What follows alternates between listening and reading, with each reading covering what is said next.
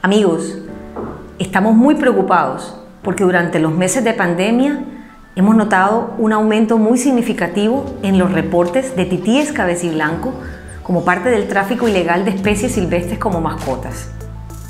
Esta tendencia tenemos que frenarla ya mismo y por eso queremos compartir contigo hoy cinco razones por las cuales no debes tener titíes cabeciblancos como mascotas.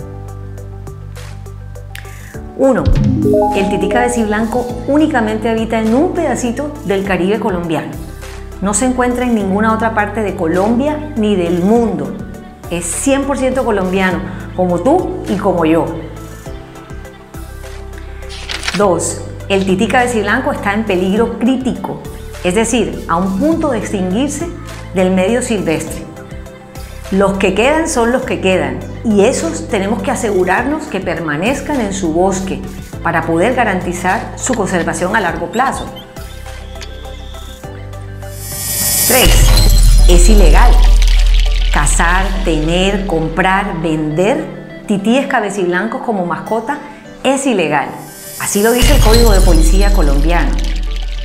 Y te puedes llegar a meter en un tremendo problema y hasta terminar en la cárcel por participar de esta actividad ilegal. 4. Una vez que has tenido el tití cabeciblanco como mascota, ya es prácticamente imposible que vuelva a su hábitat natural. Entonces, lo mejor es evitar que salgan de su bosque. Allá están bien, allá están felices, allá tienen todo lo que necesitan. Dejémoslo en su bosque. 5. Comprarlo no es salvarlo. Muchas personas de gran corazón nos contactan y nos dicen, mira, se lo compré a este traficante para poder salvarlo. Pero desafortunadamente, sin querer, cuando hacemos eso estamos apoyando el tráfico.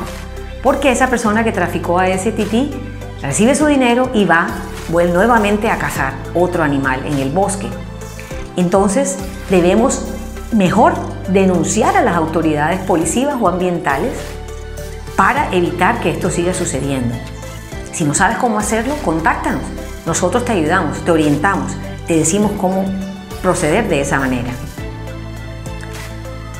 Amigos, esto es un trabajo de todos. Necesitamos tu apoyo y tu compromiso para acabar de una vez por todas con el tráfico de titíes cabeciblancos como mascotas. Si quieres un tití, Cómprate uno de peluche que los hacen las artesanas en las comunidades cerquita al bosque y de esa manera apoyas su compromiso y su trabajo por la conservación del tití cabeciblanco. Recuerda, no compres ni tengas titíes como mascotas. Dejémoslo en su bosque. Allá son felices, allá tienen todo lo que necesitan. Contamos contigo. Gracias.